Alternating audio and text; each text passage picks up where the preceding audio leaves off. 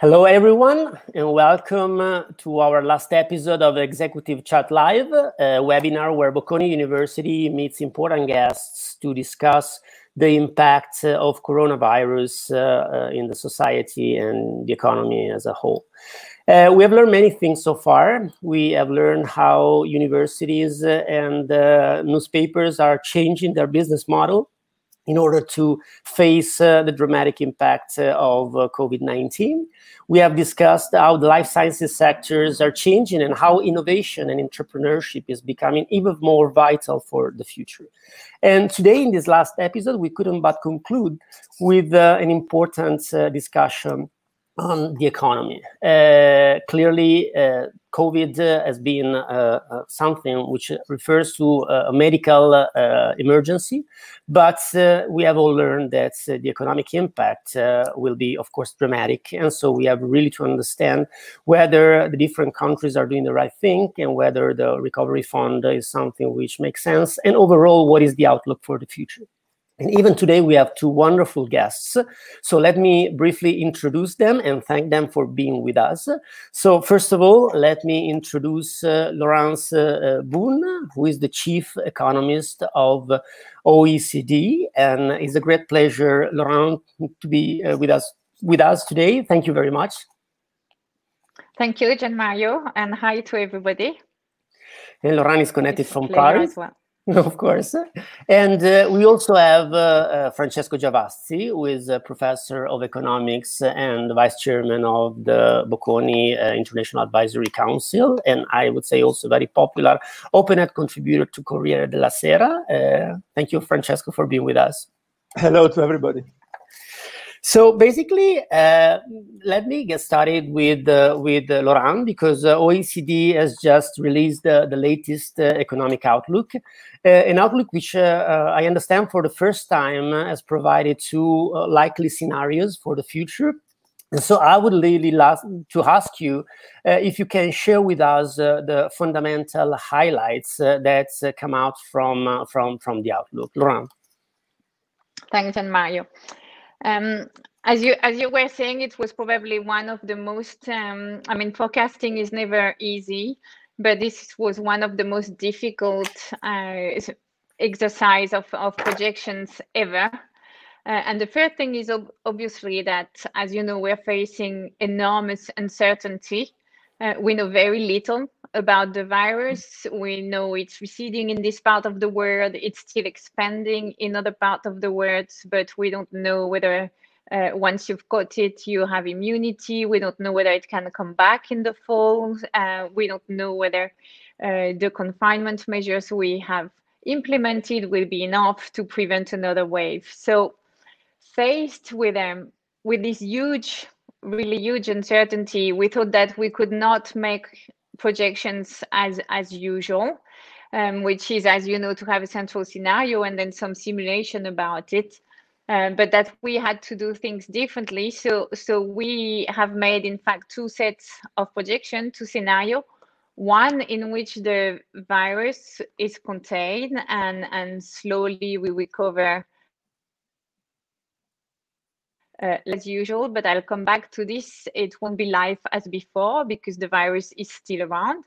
Uh, and another scenario where the virus comes back and, and we have to go into some form of confinement again. Also, it would be obviously less stringent, more focused, more targeted, because we've we've learned a few things uh, about this virus. Um, it's because because it has been such a shock and because it continues to be here. What what that means is that the formidable shock to our economy, which has been totally unprecedented in, in peacetime, uh, we will have long-lasting scars. So to, to start with the magnitude of the shock uh, is, is just incredible. It's a contraction of 10% for world GDP, uh, which has never seen uh, before and and because we will not be able to recover all sectors in the same way uh, as we used to live before covid what we see as well is that by the end of 2021 which is the end of our projection horizon then income and gdp is still below what it would have been otherwise in fact depending on the scenario we will miss, uh, we will have forgone between five to eight years of income. Um, one of the typical feature of this scenario is uh, in both cases because we're reopening the economy the, the first phase of reopening is a sharp v because you go from an activity of zero to an activity which is higher uh, than zero in in those sectors uh, but then you know we're going to reach a sort of ceiling because borders uh, some borders will remain closed because some sectors will be affected by new regulation about physical distancing um, because some sectors will not be able to operate uh, as they were doing before um, and if we get another outbreak on top of this with another period of confinement, even if it is lighter, then we'll get a very subdued 2021. So um, I think one, one fair thing to say is, is we're we're in this this situation for quite uh, a long time, which is why we had this tightrope uh, title. Mm. Now, the good news, which is also unprecedented into this exercise, is that governments have provided massive support. They've subsidized wages, they've provided uh, funding for firms, credit line, they've guaranteed some credit, they've deferred taxes and charges. We've, we've never seen as well such a massive and large amount of support to firms and to people which mostly comes from learning from previous crises and in particular the financial crisis. So that that has buffered the shock, even if it remains very high, tremendously. Um, and obviously, central banks have also been super active again, uh, stepping up, really leveling up from uh, from what happened in the financial crisis. Now, another feature. Laurent, can, can, can, let me ask a, question to, to Francesco with respect to what you just said. Francesco, did you expect a reaction like that by governments and banks? Because what Laurent is saying is that uh, clearly this has been an unusual shock, uh, dramatic, and even uh, you know in the case of the two scenarios she uh, depicted, uh, there will be of course uh, a, a, recession that not necessarily will be easy to to recover, and so. Um, what what is your reaction in terms of what banks and governments did so far, at least? Uh, no surprise on the side of central banks. So central banks understood they should be proactive in 2008. Uh, in 2008, they saved the world. But governments, uh, a bit less in the US, but certainly in Europe, didn't do much or anything. This time, the surprise is that governments did a lot, but also that in Europe, uh, the European Commission stepped in and is planning to do a lot. And this, in a sense, much more resilient because we know that the support of the central bank is like opening a fire with a lot of paper. It, uh, it heats up for 30 seconds. Uh, while if you do it using fiscal policy, it's more long lasting. So the, the, big surprise at this time, uh, governments in general and European institutions in Europe stepped in, which they hadn't done last time. Laurent, can I also ask you the same question before you continue? Uh, were you surprised by the reaction of governments and banks, given also your expertise as advisor of the French uh, Prime Minister uh, in your past uh, career? Um, I think you know we it's we we've gone from one surprise to another surprise. I don't think uh, i i don't think anybody expected uh, this pandemic to be that large that uh, expected people to be able to go into containment. Um, but it's uh, it's it's true. I think i agree with francesco. I know it's not good for a debate to agree but i do agree with him that you know central banks had learned to be to be heroes in um in, in the crisis but this time governments have been they've provided blanket guarantee in a way that had never been done before. Uh, and what you could also consider as surprising, they've really leveraged on each other experience to do that. Um, now they they are also very agile because the situation is changing, as you know, every week or every other week. Um, but I I would I would say that the difficulties are in front of us uh, because in a way when everything is shut down, we learn from the past more or less what to do. But now what will have to be done is to reopen progressively and you know protect the people who've lost their income or their firms but also provide incentive for people to to change job to move sectors for firms who needed to restructure and to reopen a new business it's it's going to be a super intensive uh, and difficult period where the agility and flexibility that policymakers have deployed uh, during the first phase of the crisis. Uh, it will have to be that, but several times uh, even even more agile, and and I think it's it's going to be challenging. But it's reassuring that they've been so forceful in the first phase of the crisis. Sure. Can I jump in and ask, of course, one thing to Laurence? Because uh, you know, Laurence, there is a debate among economists on this V shape that you mentioned. So there are some people like Larry Summers, the former US Sec- Treasury Secretary, and Larry said in a seminar in Princeton uh, a few weeks ago, by December, it will be like in December 2001. We, would for, we had forgotten about the Twin Towers. I don't think it's exactly true, but that's his view. we'll go back to where we was and everything will be, we were and everything will be forgotten.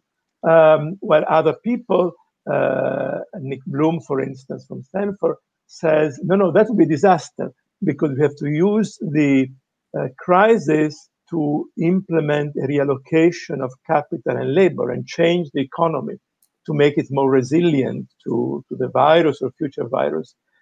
Where do you stand uh, uh, on?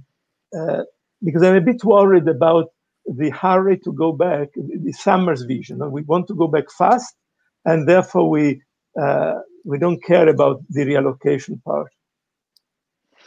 Um, so I, um, I don't want to say again. I'm, I'm more on your side than Larry's side, but um, but let me explain how how we see it because that's something we've thought really, uh, as you all, uh, really hard about. I think that there are three categories of sectors. They're the sectors that have and you know incredibly developed uh, during the crisis and they're everything related to digital like e-commerce for example which, ha- which has jumped massively and what we observed from china's experience is the habit of shopping online uh, at least for non-durable goods persist. Um, and there's a lot of agility coming with it a lot of novelty coming with that. Um, the sector of care i think universally will develop a lot more, not only uh, health as we know it, but also uh, across the world, you know, old people house, retirees uh, setups have been hurt very, very badly. So there will be, I think, a huge demand here. So that's one type of sectors. They're the fast growing sector, the, the one who the crisis accelerated their trend of development. Then on the other side of the spectrum, I would say that you have the sectors that have been badly hurt and and because we're going to remain in this situation for a while because i think we should keep in mind that we won't get a vaccine or a treatment for at least 12 18 or even 24 months um, this change will be permanent. And that's everything related to hospitality uh, to leisure to entertainment all, all those sectors they are permanently damaged and then in the middle, you have sectors which may be little affected by what happened, for example, construction. Um, so to me, when when we look at the shape of the recovery, we have to look at each of these sectors and see how they map uh, into the macroeconomic outlook. And we will see more than a V for the fast growing one, um, some return to quasi-normal for, for example, construction, so the, the undisrupted one, uh, but some others will be permanently damaged. And there, I agree with you that our concern, policymakers' concern, shouldn't be to keep them unchanged and people in this job. They should be to train people so that they can change job to allow those who haven't survived or will not survive uh, as firms i mean to to close down restructure without any stigma for the uh, for the heads of these firms for the for the entrepreneurs so that they can start something new and we we can have this reallocation of capital. And i think in that respect and i don't know if you have that in mind francesco so perhaps you could comment on this but um, um, the recovery plan that governments are going to put in place, they also should favor this reallocation of capital to some extent and also accelerate some trends like investing in more more in digital. You can help a lot smes by equipping them with a digital technology and that will also help the energy transition if we improve the electronic grid. Uh, so i think it will be very important that we seize this opportunity to to actually give a push uh, in in what we think is the right direction Given that you're mentioning this, let me ask Francesco bluntly, what does he think uh, about this reallocation in the case of Italy? And then let me ask you in the case of Europe, Laurent. What do you think, Francesco? Is uh, so far the government uh, going in the right direction, given this uh, polarization of sectors with, you know, different impact of COVID and uh, uh, the incentives that they're trying to put in place? I think the difficulty, not only in Italy but everywhere, is that politics goes in the opposite direction because politicians have a natural incentive to protect voters, and voters are current workers. So it is very difficult for a politician to do the right thing, which is not to protect jobs and therefore not to create zombie form, firms. Uh, in this sense, um, I looked at, at the what the market is saying. So if you look at option prices in the equity market, you, the market has a very clear idea. There are sectors where expected return, uh, the expected market return, say Apple, the expected market return like 3%, which means that the price is already relatively high. And there are sectors, uh, cruises, for instance, Carnival, the expected return on Carnival is above 60%, which means that uh, the market is attaching a huge risk to a sector, saying maybe uh, cruises are going to disappear. And so I think we should use this signal from, I mean, markets many times are wrong, but I think they're giving a strong signal that there are sectors that may not uh, may not survive. Let me give you one. Uh, this is for Laurent, who mentioned before we started that she's waiting the day she will go to Venice. Uh, uh Venice is under a huge uncertainty because we all discussed for years that Venice was killed by the cruises, by, by the 30,000 um, uh, people uh, going uh, to Venice per, per day. And if it is true that cruises are going to disappear, Venice has to, needs to reinvent itself to become a different city. So betting on the right industry is hugely important. Yeah, absolutely, absolutely. And uh, Laurent, uh, you mentioned the two scenarios, and uh, in the case of uh, the, the worst scenarios, uh, we would have, of course, a sort of W kind of uh, recovery, I assume, because this would mean that you know in the fall there would be another huge problem with with with the pandemic, and then therefore the recession would be prolonged. In that case you know, what is the fundamental uh, takes of the outlook?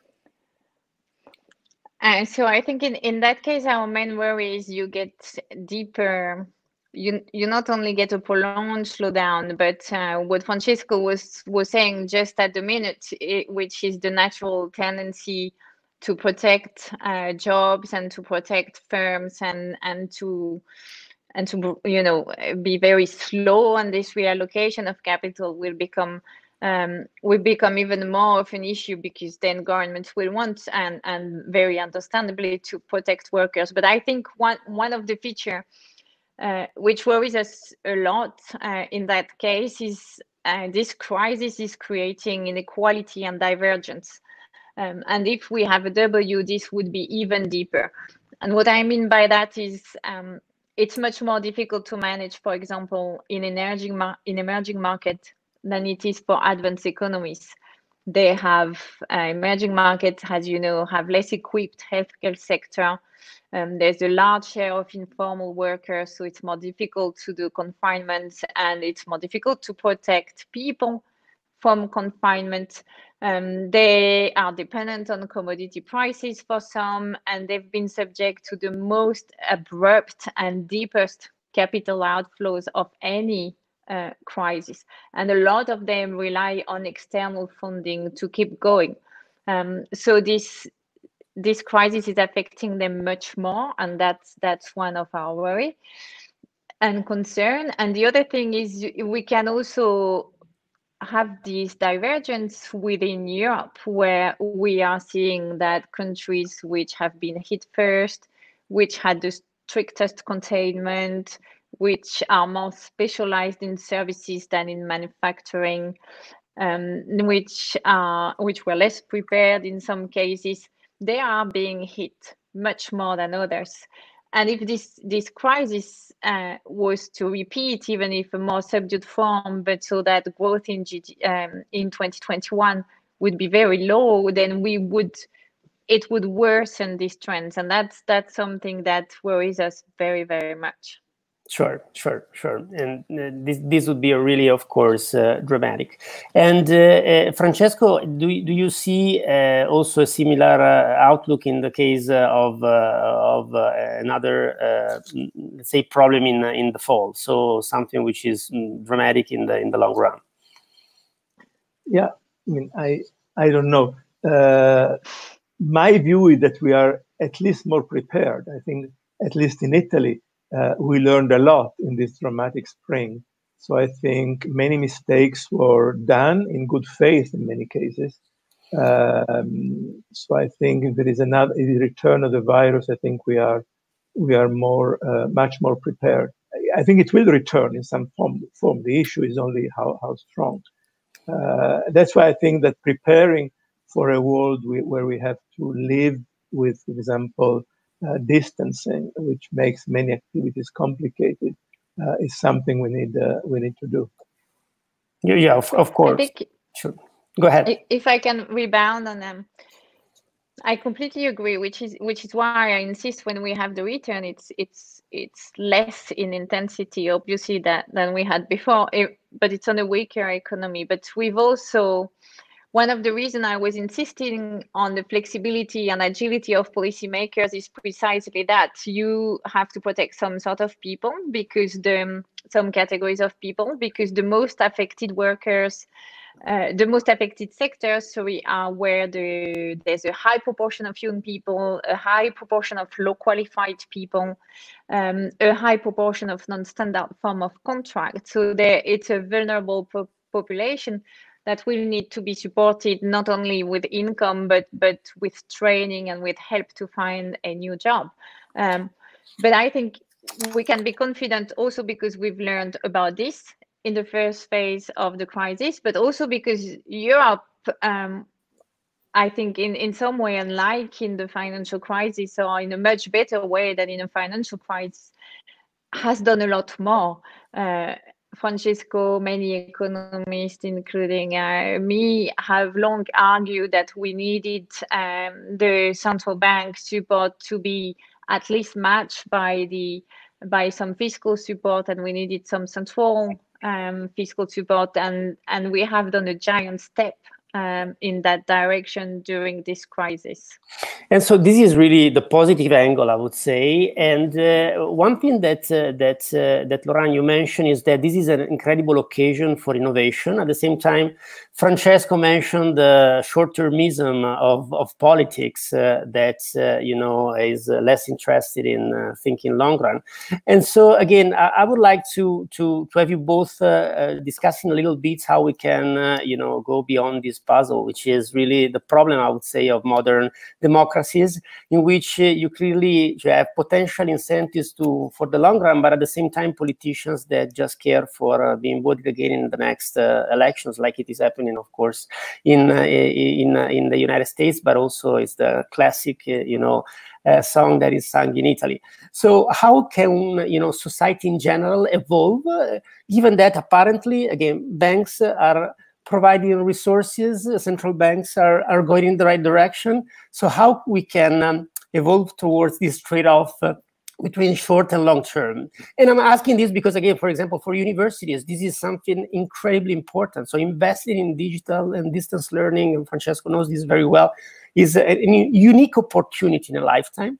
At the same time, the risk is that most of these funds will be used to self-reinforce the you know departments that are not doing the right thing the type of uh, you know teaching which is uh, the old style. And so how can we really so what is the the fundamental uh, you know recipes uh, that you both uh, can provide us with uh, you know having you know this pandemic as a, a, potential solution of many problems in addition to finding a vaccine I don't know wants to start. This is a one billion question. the the wise person is Francesco. this allows me to be short and uh, let Laurent do it. I think we have, and it's very difficult. We have to move from uh, an attitude by government, which is to protect workers, which, as Laurent said, uh, is crucial because workers need to be protected but to a, a next step, which is protect and prepare. Prepare them for a different world, for a different job. If we only protect, and the incentive of government is to protect the voter um, for until the next election, so he votes again, uh, this is going to be a disaster because the world is going to change, and these workers will have wasted the opportunity to prepare uh, for for a different job. And, but this is difficult because there is a natural incentive to uh, create what the Japanese call zombie firms, to keep alive firms that have uh, that have no future. Uh, again, uh, go back to the example of uh, of cruises. I think that with COVID 19, 20, 21, uh, putting 3,000 people in a small space, space on a cruise is not the future. So if we spend money to in for example in italy we are we have a relatively excellent specialization in building these very large ships. Um, if we give them public support to keep the shipyards alive there is a disaster because i don't think this will have a future. Yes makes a lot of sense. Laurent? Yeah so we share this um, expertise of building large ship as our common history of many things. Actually, we uh, just say. Uh, we just merged the Italian and the yes. French uh, shipyard company, no? So now we have two Absolutely. in the wrong direction. after, yeah, after after long years of discussions, yes. Uh, we've we've managed to do it. Um, so I completely agree, and I will steal the expression "protect and prepare" because I, I really it was one of the highlights of the OECD Economic Outlook to explain that you know we need to help people change job. We and the same with the zombie firms that we need to help Uh, entrepreneur restructure and close down if necessary and start again without sigma. Bankruptcy procedure as you know in europe they're extremely complicated and sometimes you cannot open a new firm for one two or three years. And that's that's where we need to where governments need to become more proactive and accelerate this process find fast track processes for firms to keep them out, to keep this process out of court. And for people, I think there's really, we can take inspiration from some countries like Denmark, where um, the people who are going to, you know, who are in sectors who will be weaker, they're identified, they're being trained, the job placement uh, company really help them uh, write CV, find a new job. If it doesn't work, do it again, and you know, not letting the person alone and, and really accompanying along this road. And I think it will be super uh, important to do that. Um, the but the third thing, the, the thing I wanted to say is we're not coming out of a vacuum. Everything is um, is more or less a trend of what has happened before and and tends to evolve with um with history. I'll I'll take you I'll take one example in the previous crisis, um, a lot of governments really pressed by this idea that you know the economy had to start fast again um, in supported a lot the automotive industry regardless of the environmental impact regardless of condition and governance and things like that. Uh, i think in this crisis it, it is very different perhaps because we're going to be in a difficult situation and in this transition period for longer but if you look, for example, at France and Germany, there has been no support for the automotive car without condition on environment. Uh, the same thing I think we learned from the TARP uh, support in the US during the financial crisis and the, the support that's being provided now is heavily conditioned by a better governance and more transparency. Another example, you, even airline industry, um, which are being rescued, uh, it's with targets related to climate change. Even so, it's a lot more difficult for airplane uh, than what it is for cars. So I think I think it's going in that direction. And one thing which um, which I strongly believe is if the government spends money in equipping small firms, very small firms, with digital tools so that they can become a lot more uh, agile using them, leveraging on them for deliveries, for couriers, for many things, then then we can give a push um, in the right direction. But the, the transition periods are difficult, they are challenging, um, and this one will be as well. But we have the tools to make it better. So now we we we we have uh, the, the expertise and, and the tools for sure. So do you agree, Francesco, with this? Yeah, the Laurence just said something uh, very politely, but something very important. That in Europe we have the example, one important example, which is Germany. Germany before the crisis was ready to revamp the German car industry as it was essentially. And now uh, Mrs. Merkel has clearly said not a euro if you're not going to change your automotive model. This is hugely important because it's also hugely unpopular in, in Germany. Uh, I must say, Gianmario, that is going to go to Italy, that we are understandably for some reason, but are not going in that direction. We are giving public support to existing um, car factories uh, that produce existing cars with very little uh, pressure to, to change the model. So we risk putting a lot of money into so to protect jobs because these jobs will be there, but probably five years from now, nobody will buy those cars. So we've thrown the money away. Well, this, I think Germany has behaved very differently in this case. Well, we are getting many comments from, from the audience, and everybody's enthusiastic by the, the quality of conversation that you both from the car industry, we're getting a lot of comments. no, of course, they, they, are not included probably in the, in the chat, neither the cruise nor the car industry.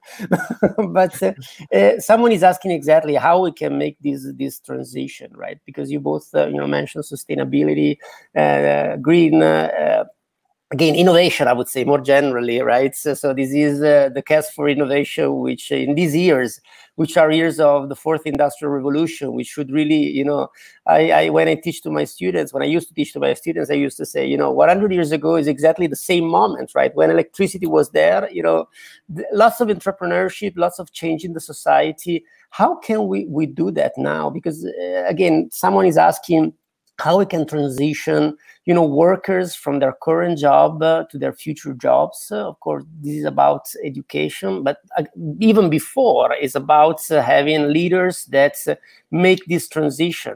So sorry for these uh, you know very pragmatic questions difficult to to answer but this is really the problem because sometimes it's like we are kind of stuck in the middle. Now we have resources which is the good news um, at this point.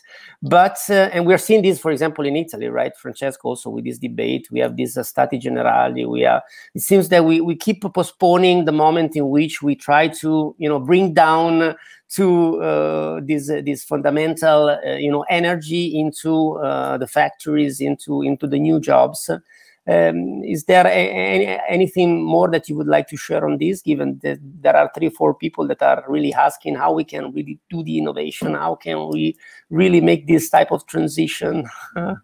What should politics do in order to do that? This time I let Laurence start. Again, Laurence, I mentioned, I mean, she's been advisor of the, the French prime minister, and so she knows very, very well how it is hard to transform you know the theory of economics into the practice of, of economics. And so what is uh, your additional takes on this? Uh, so i so thanks for letting me answer the difficult question francesco. Um, it's uh, uh, a couple of ideas. The, the first thing i the first thing i would like to say is we're, we're living in the european union with a single market, meaning we have 355 million potential consumer. That's a lot. So So the market for firms and for innovation is huge. One of the things that uh, we were recommending here and that the US, for example, has done or the French had done in the previous crisis um, is to have this fund for innovation, which have very clear rules. It's you. It's a big fund. It's a pocket of money from the state. It's focusing on one area of innovation. For example, let's say e-commerce. Um, it's headed by experts appointed there for five years and it's running on competition and they select projects through a competition they let the people uh, they give money to the, the people in charge of the project and they let them go uh, on the idea that some of the project it's you know for a private investor very difficult to fund because it has externalities they cannot take into account because it's very risky or for a variety of reasons. And that that is a big boost of innovation. It's what led to um, uh, internet in the US and many other novelties. So I think Europe can afford to do that. That's that's one thing to do to boost innovation. Obviously, it has to be run through competition. And in the US, for example, they change the people selecting the project every five years. So that's uh, very efficient. Another point I think uh, which to me is super important. So Francesco will be able to say whether it works well in Italy. But if I take apprenticeship, for example, you have four times as many young people in apprenticeship in Germany as you have in France and yet it's a very good way of learning a job of learning how to work in a job. It can be done at any type uh, any degree of your studies uh, whether you're in tertiary education secondary or below secondary education. And that gives a, that helps people get a job whatever the level of education is. Um, and if i look at the case of france my country then we're, we're very bad at taking care of people who, who are not reaching tertiary education. And germany is very good. We should we could do something like that especially during this period of transition when it will be difficult for the people who are stepping into the labor market for the first time to find a job um, so I, I can go on for longer, but I'm sure Francesco has much better idea. No, I think apprenticeship, if uh, uh, France has many less than Germany, Italy has one third of what France has. So it and it's important because you start uh, approaching a job when you are still very flexible and you can you can also contribute to changing to change the job. So uh, that's certainly important. I think on the, I think there are two aspects there. The youth aspect, if you want, is relatively easy in the sense we have to change uh, our schools, uh, our the transition from school to work. We have to change our universities, but that is all possible. The really difficult part is what to do with someone who is uh, 45. Yes, she has 20 more years uh, as an active worker, and uh, realizes that the job should not be there because it's not in the country's interest to keep that job alive. And that is much more complicated because retraining at that age is, uh, is obviously much harder. And there, I think, where the uh, the pressure for no change and keeping what should not be kept is stronger. I, I have no solution. I think I would concentrate the effort on, on, on that category of middle-aged people. The, the young is, needs to be done, but in a sense is, is easier. This is interesting because we have had, uh, at least in Italy, an advisory team uh, that has been working for the government, uh, headed, by the way, by a Bocconi alumnus, Vittorio Colao. And this is a fundamental point, which, uh, in fact, the team has uh, raised as something that we should do this one of these uh, apprenticeship. We just have a few minutes left. And sure. I have one question because oh, sure, sure, sure, sure, sure, sure. completely different.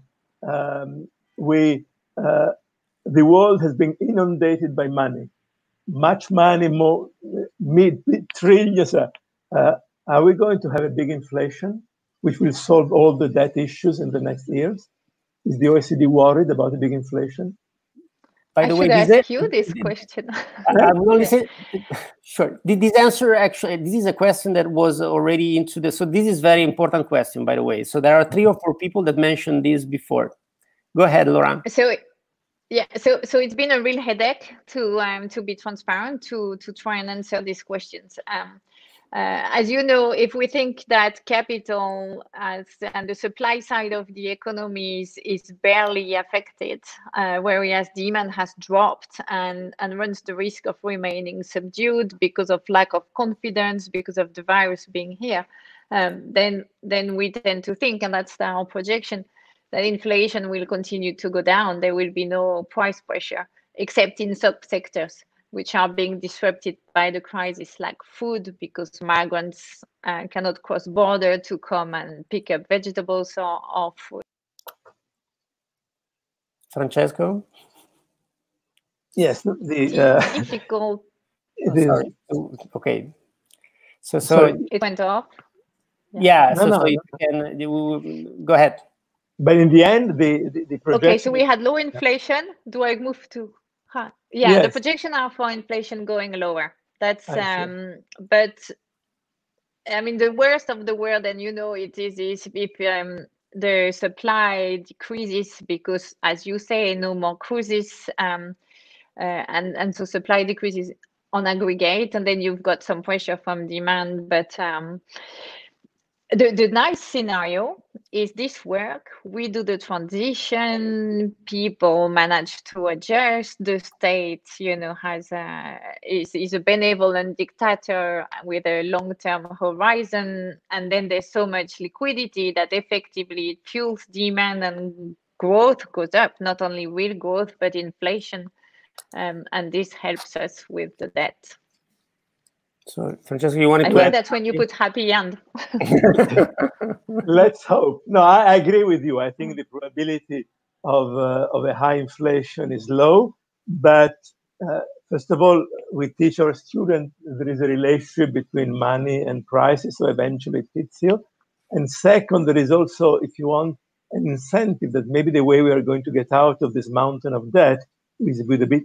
If you look at how uh, debt was solved in the past, has been either with very high growth, which doesn't seem in the cards, or uh, or some unexpected inflation. So th- we should keep this in our mind when we invest, thinking at our retirement. So go ahead, Laurent.